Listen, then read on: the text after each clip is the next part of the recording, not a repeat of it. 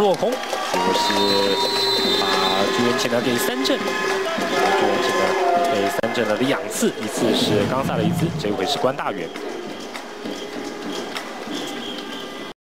最后还是拿出他的武器球。对啊，武器还是武器，最有效的。他要搭配他的快速球，就是这就是这一颗直叉球。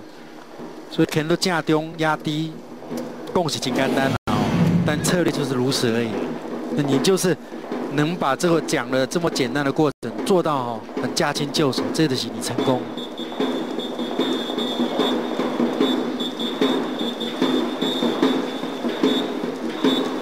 现在轮到陈永基，前面的两次打击哦，都是被冈萨雷斯呢给三振。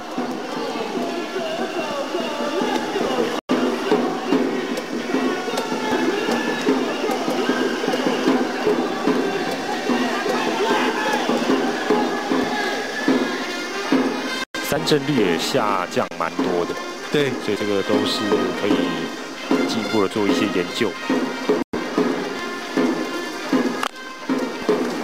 贵吉了哈，他直插球一如果一投出来了，打者超多挥棒，但他今年也发现了他的直插球有时候打者哦根本不理他，所以了哈，这也就是说他在投他的直插球的过程，还要能够有更好的一个好球的能力。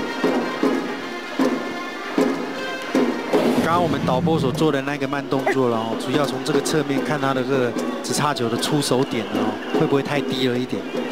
他也曾经自己在想说，会不会他的手然后抬得不够高？就这球棒落空，哇！连续三振了两位的打者，也结束了这个半局。目前统一是一比三，两分落后。